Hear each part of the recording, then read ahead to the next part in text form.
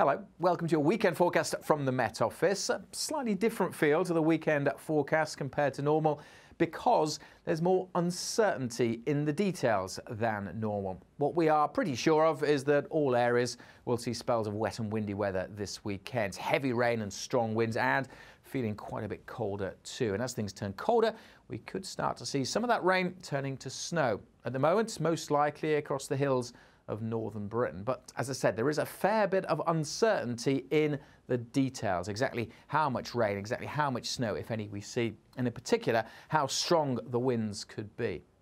What's going on? Well, let's take a look at the bigger picture because we can see areas of low pressure and weather fronts just waiting out in the Atlantic and streaming towards the UK.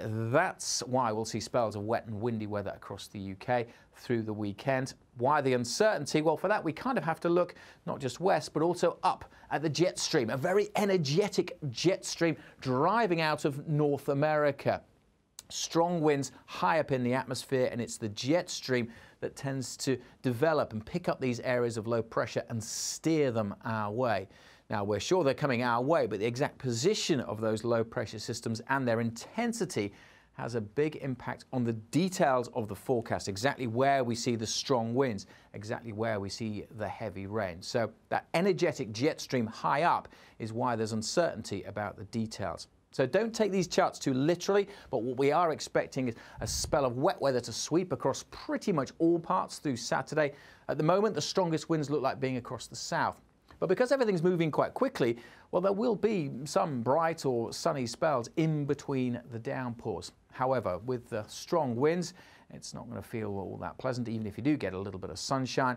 Temperatures will really be struggling across northern Britain. Single figures here and where the rain persists, that's going to feel pretty cold. Further south, as I said, if it brightens up, while temperatures could get into double figures, but don't forget there will be at times some strong and gusty winds.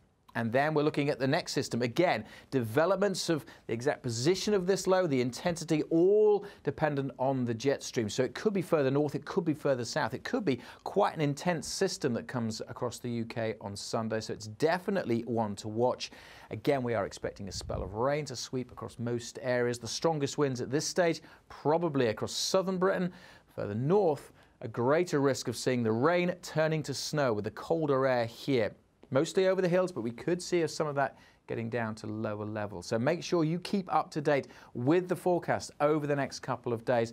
As I said, the colder conditions across northern Britain, but even in the south on Sunday, temperatures for many staying in single figures.